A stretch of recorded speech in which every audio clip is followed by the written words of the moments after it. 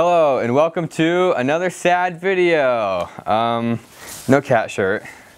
Today is in honor of Barkley, who's gone. Um, like he seemed, basically, long story short, the vet thinks he had cancer and it sort of was like rapid, it just like, the symptoms like really rapidly onset the past week. And he couldn't breathe, he was sort of filling up with like retaining water, so he became very like saggy skin, like almost like a balloon, which was putting pressure on his chest, made it hard to breathe, and um,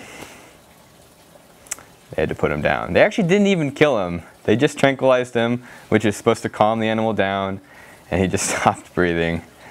And I think hands down, one of the worst things I think I've ever seen. He wasn't even a good dog. I still miss him and his hatred of ketchup. And he sort of, you know, if you could hear him talk, he'd probably say something like this. I'm gonna poop on the patio. They're gonna have to scrape it off with a shovel. so maybe it's a good thing he couldn't talk. um, maybe we get another dog. Too soon for that. So, goodbye, Barkley. One for my homies. That was dog food. Sprinkled dog food. Was that stupid? well, he's not going to eat it, so.